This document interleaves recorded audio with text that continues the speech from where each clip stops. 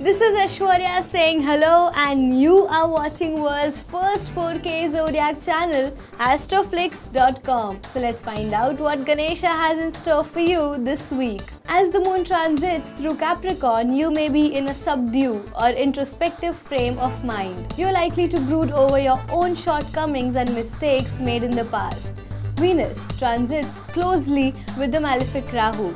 Be careful. Such alignments could make you unrealistic and unreasonable, says Ganesha. Those single might be more concerned about enjoying physical intimacy rather than building a strong relationship.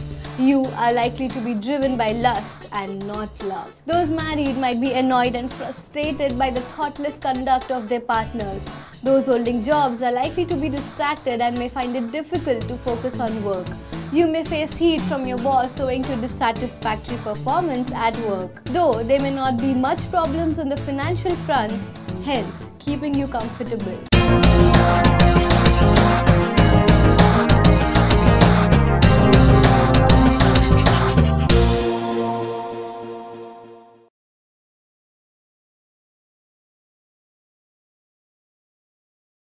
So this is what Ganesha had in store for you this week. For more videos, don't forget to subscribe to our YouTube channel astroflix.com.